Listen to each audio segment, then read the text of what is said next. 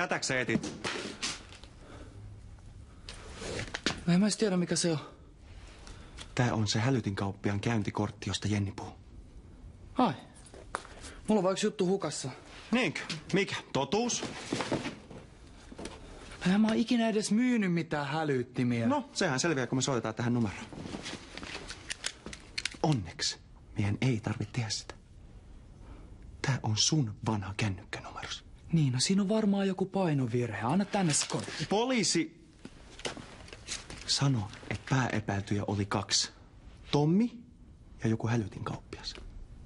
Tommin syyttömyys todistettiin DNA-testillä. Eli jäljelle jää hälytin kauppias. Ja jos tämä tosiaan on ollut joku painovirhe, niin eiköhän selvitetä tämä sotku saman tien. Mennään me molemmat testittäväksi. Sä oot ihan sekasi. Onks tää nyt jotenkin niinku hauska? No ha, ha, ha. Nyt on naurettu. Anna tänne se kortti. Mä oon tosissani. Mä soitan nyt poliisille. Markus, hei, mitä tää nyt on? Hei, lopeta. Sä teit sen. Sä kolautit sitä mummoa ja jätit sen kylmästi yksin kuolla. Ei mun ollut tarkoitus sitä tappaa. Tai edes satuttaa. Mut sä sen teit.